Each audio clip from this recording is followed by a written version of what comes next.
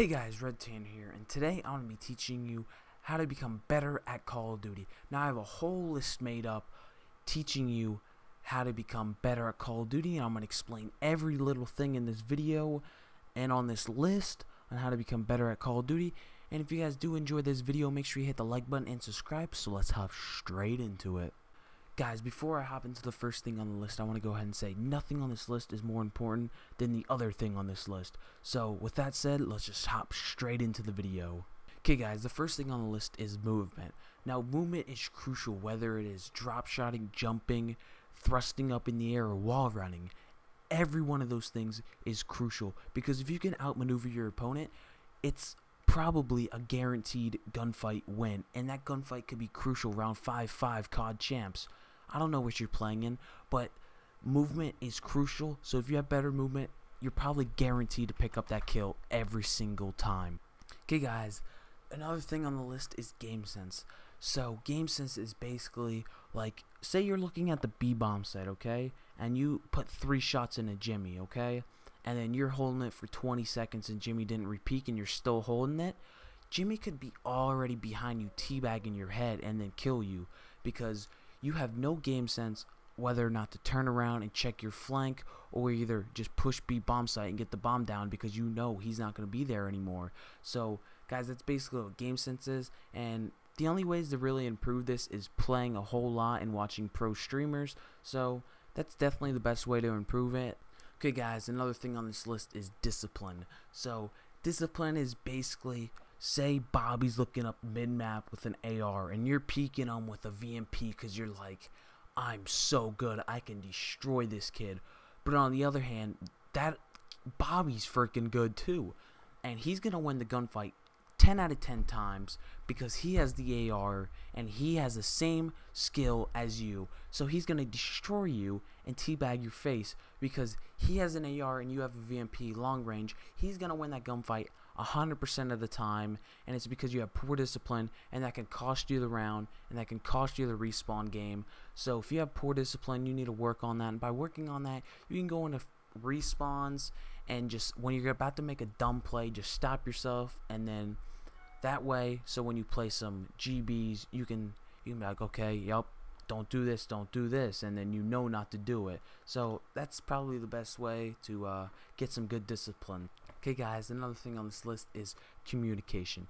Now, communication is key because if you have poor communication, you're not going to know where the players are going, know where they're rotating, know where they're sitting in a corner or not, or what the hell the other team does until you just rush in that room and then find out when he's laying on the ceiling somehow and you he kills you and then you end up losing the S&D round and it's because your teammate doesn't call it out because he might be toxic or something and he's mad but he's not communicating which ends up you making you guys lose that round. So by having bad communication can end up making you guys lose rounds making you guys lo lose games, making you guys lose series, making you guys lose events, just everything it can make you lose. Communication is key on every team. If you have poor communication, your team's not going to end up well. Okay, guys, another thing on this list is play when you're uncomfortable. Now, I'm talking about in real life, I'm talking about in game. So, I'm talking about like, say, a sub long range or an AR close up. So pull out an M8 and go play a Nuketown and just get a feel for close range gunfights on close maps. Guys, another thing on this list is stick to one weapon. Don't go using the M8 one day and then the VMP next day. Stick to a subclass or an AR class because if you stick to an AR class or a subclass and you stick with that weapon and play with it you'll become a lot better with that weapon rather than splitting your skills with two separate weapons and you'll see huge difference if you just play with one weapon you'll become a lot better player and you won't have to change how you play the game every class you pick. So the way to practice on that is just go into game and just use that weapon the whole game throughout in every game mode and if you're all, if you're used to only using this weapon, find out different ways to position yourself and become familiar with that weapon. Okay, guys, another thing on the list is you don't need the most expensive things on the market to play good. Now, I believe there's two things you need on the market to play good a good, good monitor and a good headset. Now, those two things will improve your game very drastically and they will provide a huge difference. But you don't need no scuff controller to play amazing because you can just learn how to play Claw, and it's basically a free scuff controller. And you don't need everything on the market just to play out of your mind. Your potential is in your hands and in your mind, and only two things are going to make a difference in that state is a monitor and a headset because those will enhance your reaction time and your hearing in your game so you'll become an all-around better player with just those two things. Okay guys, another thing on this list is learn how to anchor and play with your teammates. Now if you don't know what anchoring is, it's basically where you have an AR and you sit and you sit in the spot where you want your teammates to spawn. So same anchoring back of um, evac because the next hard point is right next to that.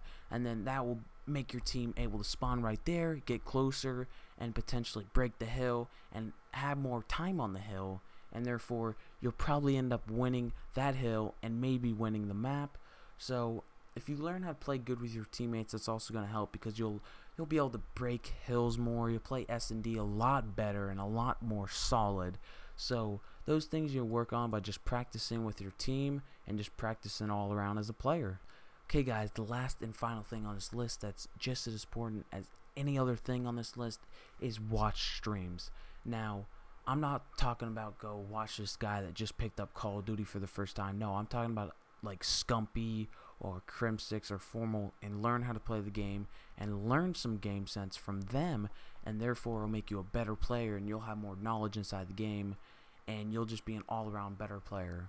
Okay guys, that's everything on the list. So if anything on that list did indeed help you or will help you, make sure you smack the like button below and subscribe. It's been your boy Red. Peace.